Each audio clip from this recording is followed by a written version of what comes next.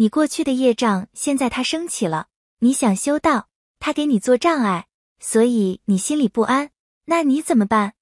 你认识它了，安一安吧。当你这个时候心不安的时候，不要打坐，也不要参禅，做什么？读诵大乘。最好的方法就是读诵大乘。第二个好的方法，磕头礼拜，以动制动。当你心里不安的时候，烦恼来了，这是动态，依着动态的法门，或者拜读诵大乘来降服它。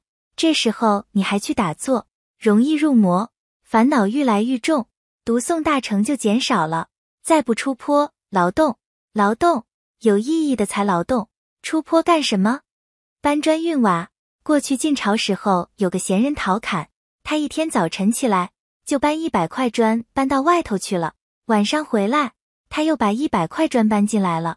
别人看见他跟疯子一样，什么事没有就搬进来搬出去。有个人这样问我，他说干什么？我说他断烦恼，这叫断烦恼的方法。我们不必来搬砖，你烦恼来了，爬带罗顶或者一步一个头磕上去。或者朝五个台，朝完了，业障也消了，烦恼也好了，你就安定了。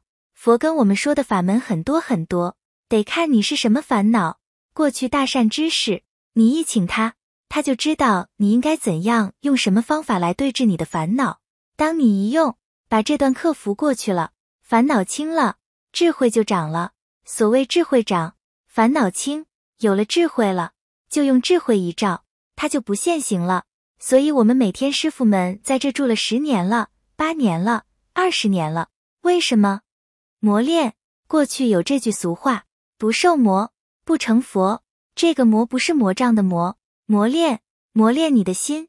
我们这有些个老道友，看着很平平静静的，他经过一二十年在佛门中磨练，不容易。我出家七十八年了，还有两年就八十年了，我感觉到磨练的还不行。现在就是业障发现了，腿也不听使唤，手脚都不听使唤，病吧？没病啊，没病，他就指挥不动，没有以前灵活。我就给定为我自己的业障发现。那业障发现怎么消？头几天我刚把五个台朝完了，怎么消？朝台啊，自己消不了，消不了怎么办？请文殊菩萨帮着消。到台顶上拜拜，特别拜中台说法台。你看文殊菩萨在那说法，你去听听法吧。或者你跟我说我什么也没看见，那还业障障住了。没有业障你就发现了。文殊菩萨在中台说法不停的了。我这回朝中台，我回想起如瑞法师带着我们道友那回全寺爬中台，爬的大家那个汗流。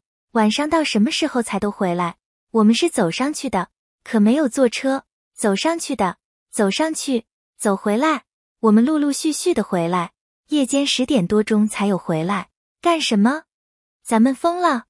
不是的，消业障。如果大家感觉业障还没消了，那不能单独行动。你在家里头拜佛可以，乃至念文殊师利菩萨也可以。